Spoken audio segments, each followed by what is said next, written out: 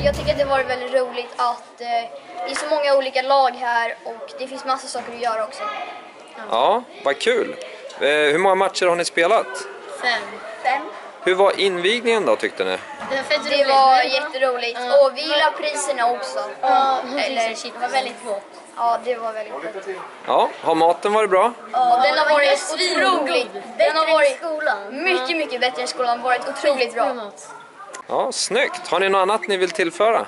Eh, Alltså, att, alltså, eh, man, alltså man ska åka till den här kuppen. Den Ja, är skitnice. den är väldigt rolig. Jätteroligt. Och eh, känner ni att ni vill komma tillbaks nästa år? Ja, absolut. Ja, jättekul. Tack så mycket. Tack.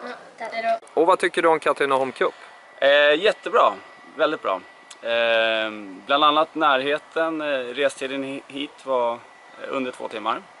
Bra för oss. Eh, och sen närheten här på plats också.